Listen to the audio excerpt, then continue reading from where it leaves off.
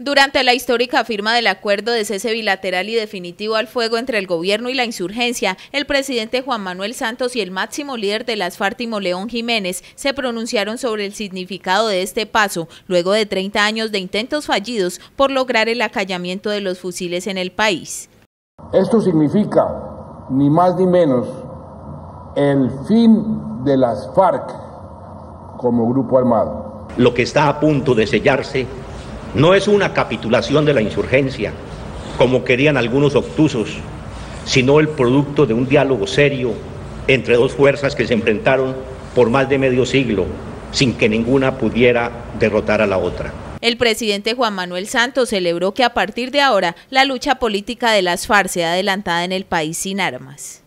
Quiero valorar expresamente el paso que hoy dan las FARC con el liderazgo de Timolón Jiménez, al acordar que la lucha por sus convicciones ya no será armada, sino, como debe ser, política, con ideas y argumentos. Claro que las FARC política, si esa es nuestra razón de ser, pero por medios legales y pacíficos, con los mismos derechos y garantías de los demás partidos.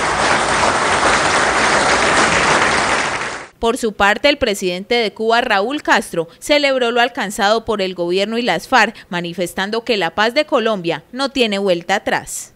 El proceso de paz no tiene vuelta atrás.